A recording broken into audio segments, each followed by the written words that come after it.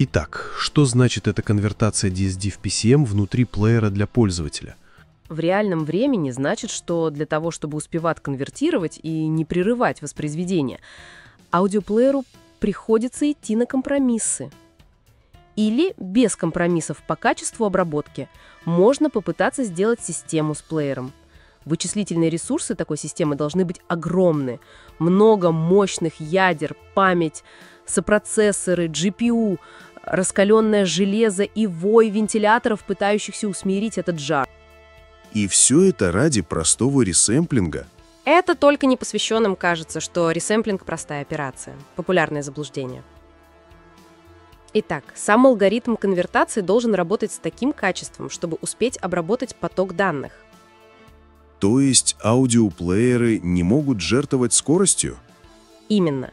Это как если бы вы пытались перевести толстенную книгу, быстро диктуя переводчику сходу, без пауз. Он сможет перевести, но часть смыслов может быть пропущена, чтобы просто не сбиваться с ритма. В случае с аудиоплеерами это приводит к тому, что на выходе мы получаем преобразованную версию DSD с качеством, определяемым доступной скоростью обработки. Чтобы избежать непонимания, отметим такую деталь. Не обязательно, что качество алгоритма само автоматически адаптируется к доступным ресурсам. Плееры могут давать ручной выбор между алгоритмами, а вот потянет ли их ваше железо – не факт. Стоит ожидать, что алгоритмы, встроенные в плееры, рассчитаны на некое усредненное железо и есть некие оптимизации под определенные типы вычислительных аппаратных функций. Но выше головы все равно не прыгнешь. Да, и следует помнить, что разные плееры могут отличаться по качеству преобразования.